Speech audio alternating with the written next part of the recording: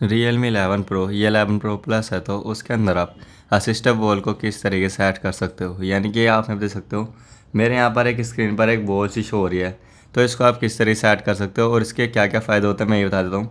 अगर आपको यहाँ पर अपने फ़ोन का यहाँ पर नोटिफिकेशन ड्रोर यानी कि आप देखते हो यहाँ पर है मेरा नोटिफिकेशन ड्रोर है, इस तरीके से स्वाइप करेंगे तो नहीं आएगा तो मेरे को यहाँ से ऊपर से करना पड़ता तब जाके मेरा यहाँ पर है नोटिफिकेशन डोर है, वो ओपन होता है। तो हम इस पर खाली एक बार ऐसे टैप करेंगे और हमारे यहाँ पर नोटिफिकेशन डोर है, वो ओपन हो जाएगा। क्योंकि मैंने यहाँ पर इसको सेट कर रखा है सिस्टम बोल के अंदर।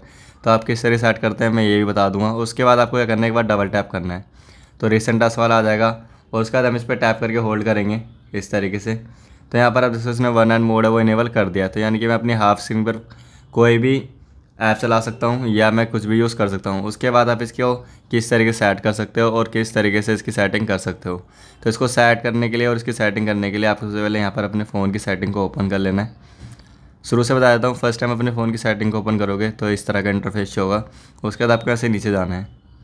नीचे जाने के बाद आपको यहाँ पर ऑप्शन होगा एडिशनल सेटिंग का, इस पर टैप कर लेना है। तो यहाँ पर मेरा एडिशनल सेटिंग पे टैप नहीं हुआ। मेरा यहाँ पर डिजिटल वेलविन पे हो गया तो मैं यहाँ पर एडिशनल सेटिंग पे टैप करता हूँ। और यहाँ पर ऑप्शन शो हो जाएगा असिस्टा बोल इस पर टैप कर लेना है। तो यहाँ से आप इसको ऑफ़ करोगे तो आपका हट जाएगा तो हम इससे पहले ऑन कर लेंगे। तो यहाँ पर हम ये किस तरीके से कर रहे थे ऐसे टैप करके होल्ड कर रहे थे तो यहाँ पर ये शो हो जा रहा था। तो आप यहाँ पर इस पर करोगे ना मेन्यू पे, इस पर टैप करोगे तो आपके सारे ऑप्शन शो हो जाएँगे। जैसे कि आप इस पर एक बार टैप करोगे तो यहाँ से बैक कर सकते हो स्क्रीन ले सकते हो इस तरीके से। और यहाँ पर काफ़ी सारी सेटिंग है रिसेंट टास्क वाला इस तरीके से आ जाएगा। तो मैं ऐसे बैक कर देता हूँ एक बारी तो यहाँ पर हमारी स्क्रीन लॉक हो जाएगी।